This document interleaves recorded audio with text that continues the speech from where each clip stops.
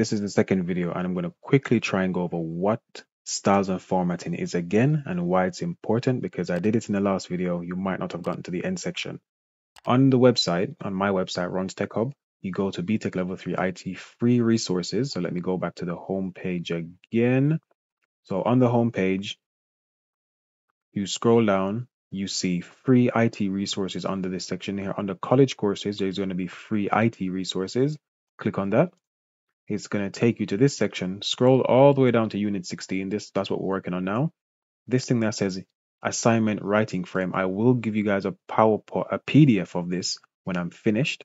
But as for now, it's just a Word document. So feel free to go to File and download this and you can work from this if you really want to. So styles and formatting is simply a way to lay your document out in a logical way, in a logical way that's easy to follow and that allows you to easily move around the document as well. It looks very good as well. For example, this is a title heading, and then down here we have heading one, and anything that's a subheading would be heading two, and a subheading of that would be heading three, subheading, and so on and so forth. The benefit of this, imagine you had coursework that had hundreds of pages, dozens of pages, and it's very hard to scroll through and find exactly what you want. In most word processors, so uh, right now I'm using Google Docs, this is the same for Microsoft Word. It's the same for WPS Office. Any of the free Office programs, any Office program that you use, once you have a, a word processor that's relatively up to date, it's going to allow you to uh, to to view the headings. And once you can view the headings, you can jump around a document easy. So right now I'm, I'm on the very first page, but let's say I wanted to go to the section that says P3 produce plans for a cloud, whatever it says.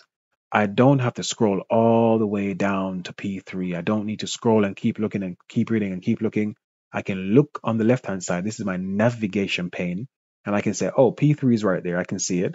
So let me click on P3 and it takes me straight to P3 and I can read what P3 says, leave my comments, do what I need to do and move on. And let's say I need to do the same thing for D2, for example. I'm just picking them at random here. I can click on D2. It takes me straight to D2 and I can start doing what I need to do.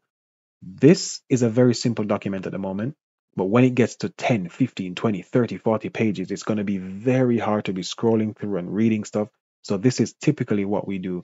In a professional setting, you have to use styles and formatting. It's a standard thing, and you also have to be doing references.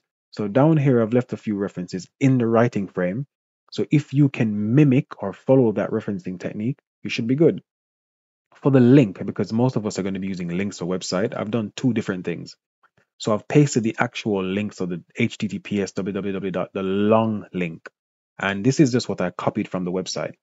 I've also done a shorter link, which looks a bit nicer to me, but do whatever your teacher says. If your teacher says do the long one, then you do, you do the long one. Because all of my coursework is submitted digitally, I prefer to use a short link because it just looks a lot nicer.